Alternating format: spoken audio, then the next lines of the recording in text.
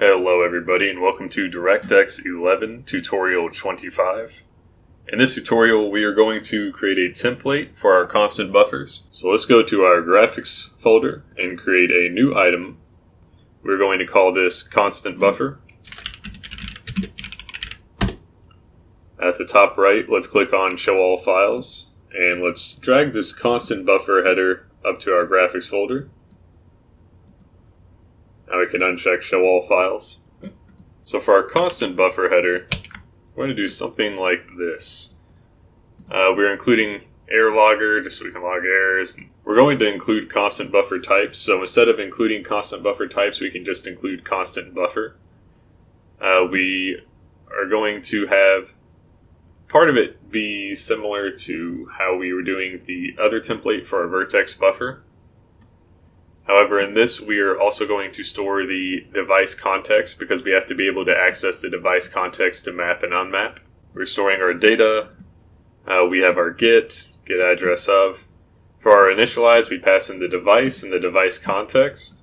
And what what happens is we are saving the device context, and we're just using the device to create the buffer, and then we return the H result.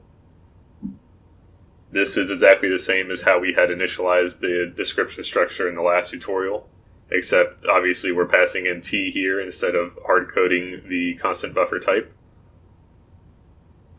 Apply changes is how we will update for mapping and unmapping. Now in our last tutorial we didn't do any error checking on H result, but what this will do is it'll return a boolean true or false, so if for some reason it fails to map, then we will get back false and our error logger will say failed to map to constant buffer. However, if it successfully maps and unmaps, we will get back true. So let's go to our graphics header and we are going to include constant buffer. Now down where we had made our constant buffer, let's change this to be constant buffer and now we have to pass in the type. So we had, it was the CBVS vertex shader just going to call that constant buffer. Now, let's go to initialize scene where we are initializing it. It was at the bottom. So we can take out this description. And what we will do is HR is going to be uh, constant buffer dot initialize. We'll pass in the device pointer and then the device context pointer. And that's a lot less, uh, you know, to look at when we're looking at our initialized scene. So now let's go up to render frame. And up in render frame, we will change the data like this. We won't declare a new object. We will just do constant buffer dot data dot x offset, you know, dot y offset, and access it like that. And then when we want to update it, we will say if constant buffer apply changes. So we're going to see if it fails. If it fails, then was this? Ah, this wasn't a. We'll just return. So if it fails, we just won't render this frame. We won't finish rendering it. Let's take that out. I don't know why it would fail, but I'll probably look into that and go over that in the next tutorial when we go over the alignment or something.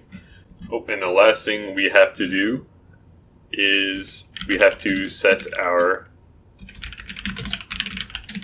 constant buffers. So start slot 0, num buffers is 1, and we have to get the pointer to the pointer. So we will call get address of. Alright, now let's give this a test. See what we get. Alright, and we get it at the top. And you know, if you wanted to test out changing the constant buffer, we could do something like uh, store the y offset, and then every frame we could do like y offset minus 0.1 and just set this to y offset. And now when we test this, it should move down the screen after it starts. I'm not sure how fast it will be. Oh, it was pretty fast. I guess we should do 0.01. You see, now we've got it moving and it's gone. So yeah, that's all that we are going to cover in this tutorial. In the next tutorial, we will probably go over the HLSL constant buffer byte alignment and then after that we will get into matrices.